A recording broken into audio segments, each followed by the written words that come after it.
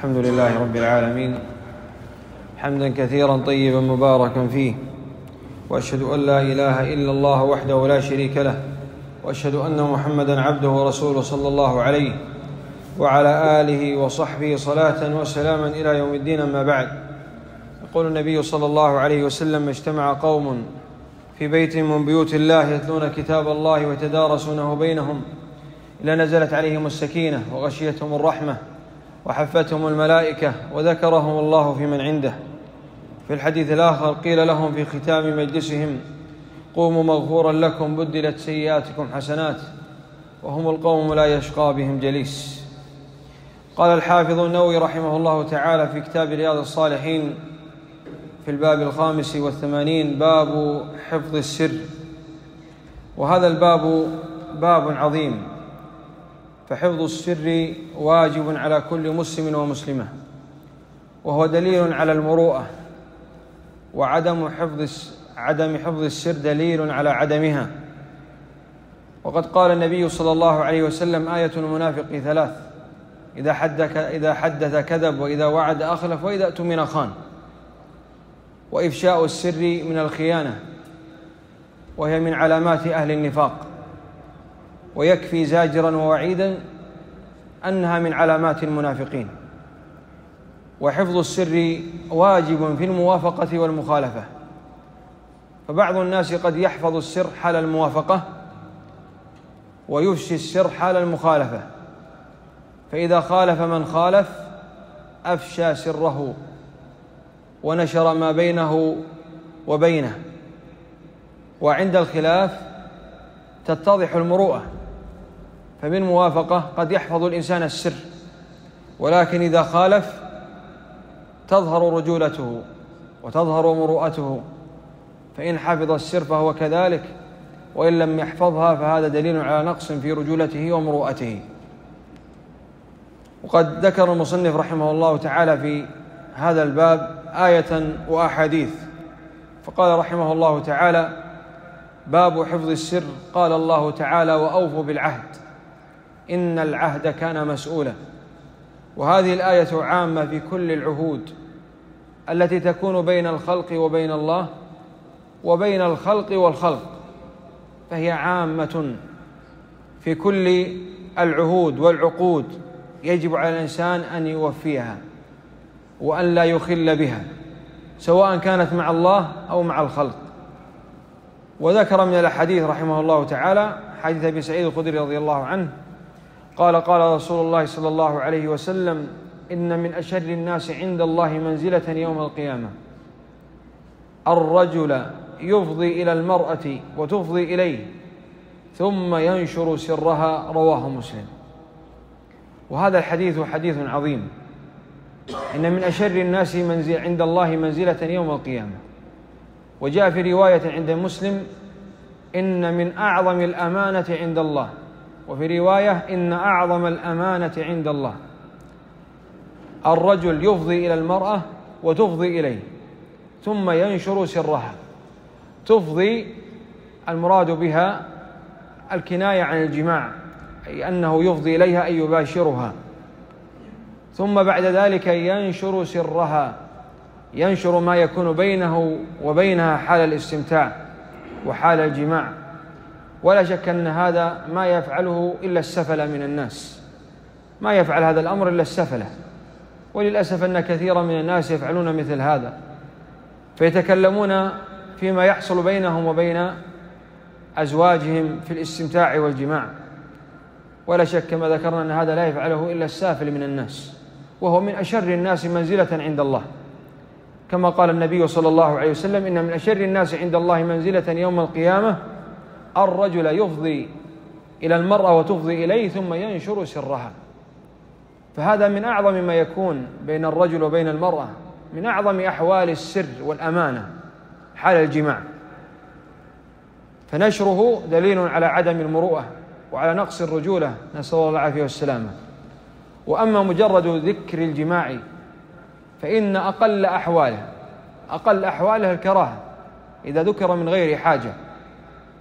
أما إذا كان من حاجة فإنه لا بأس كأن يستفتي في مسألة ونحو هذه الأمور فإن هذا لا بأس به. أما مجرد ذكر الجماع أنه جامع وأنه فعل فإن هذا أقل أحوال الكراهة. أما إذا نشر ما يكون فإن هذا من الأمور الكبيرة العظيمة عند الله. فهو من كبائر الذنوب كما دل عليه هذا الحديث أنه من أشر الناس منزلة عند الله.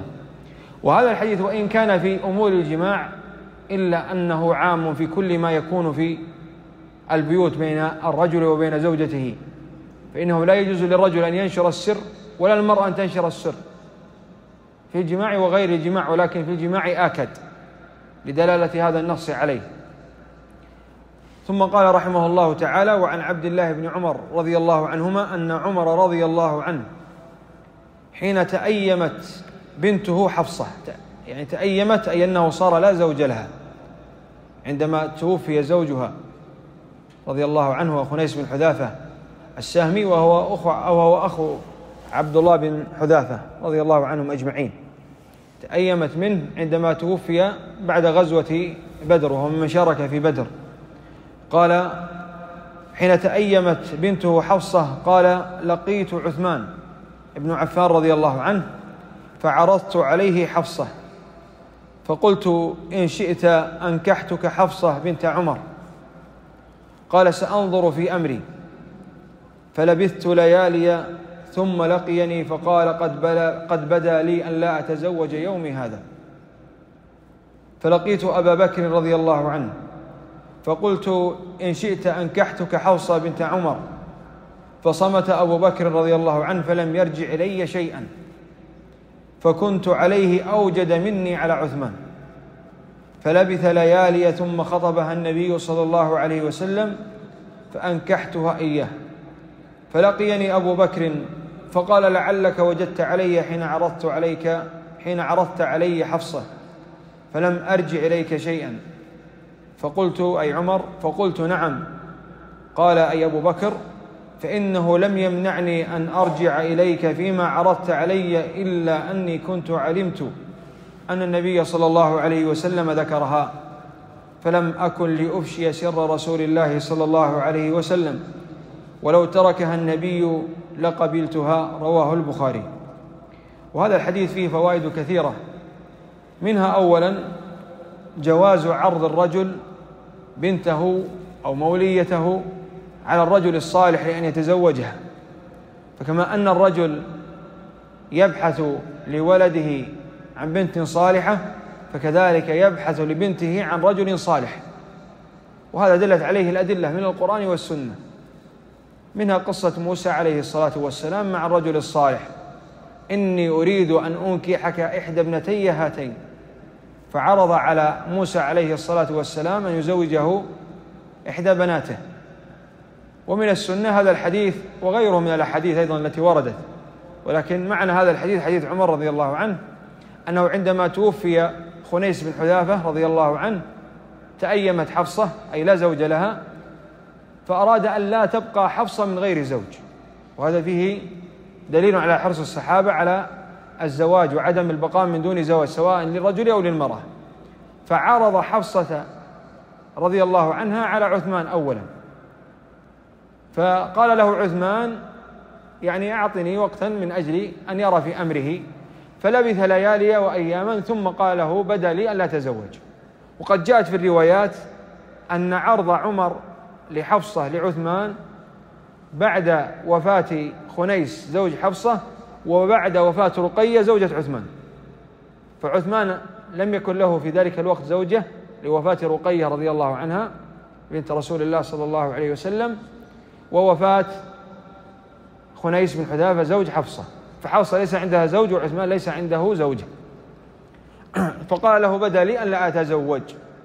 وقد جاء في الروايات أنه كان يريد أن يخطب أم كلثوم رضي الله عنها بنت رسول الله صلى الله عليه وسلم. فذهب بعد ذلك إلى أبي بكر. لم يتوقف عمر عند عثمان. ذهب إلى أبي بكر. وعرض عليه حفصة. فأبو بكر الصديق لم يجب شيئا لعمر بل سكت رضي الله عنه وأرضاه. فعمر وجد في نفسه على أبي بكر. عثمان على الأقل تكلم قال لا أريد أن أتزوج الآن لكن أبو بكر سكت. فوجد عمر في نفسه على على أبي بكر. لو تكلم لكان هذا أريح لقلبه لكنه لم يتكلم. فلما مرت الأيام جاء النبي صلى الله عليه وسلم وخطب وخطب حفصة. فقال أبو بكر الصديق رضي الله عنه لعمر لعلك يعني وجدت على نفسي عندما لم أرد عليك بكلمة. فقال نعم. قال ما منع ما ما ما منعني يعني من ذلك إلا أنني سمعت رسول الله صلى الله عليه وسلم يذكرها. يعني يذكر حفصة أنه سيتزوجها. فقال ولم أكن لأفشي سر رسول الله صلى الله عليه وسلم. انظر إلى حفص أبي بكر الصديق. أن لا يفشي سر رسول الله صلى الله عليه وسلم. فلم ينطق بكلمة مع أن فعله هذا جعل عمر يجد في نفسه عليه.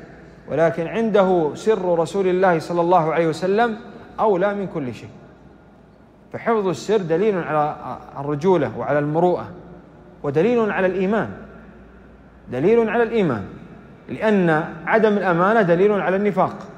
فدل على أن حفظ السر وحفظ الأمانة دليل على دليل على الإيمان. فمن فوائد هذا الحديث هذه المسألة العظيمة وهي حفظ السر. خاصة إذا كان هذا السر في حق رسول الله صلى الله عليه وسلم. وفيه فضيلة أبي بكر الصديق رضي الله عنه وأرضاه. إذ أنه إذ إنه حفظ سر رسول الله صلى الله عليه وسلم وعمل جميع الأسباب التي تحفظ سر رسول الله صلى الله عليه وسلم. حتى وإن كان في ذلك يعني ضرر عليه من جهة عمر رضي الله عنه وأرضاه. وفوائد هذا الحديث استنبط منها العلماء فوائد كثيرة ولكن هذا ما يسع المقام لذكره. والله أعلم محكم وصلى الله وسلم على نبينا محمد وعلى آله وصحبه أجمعين.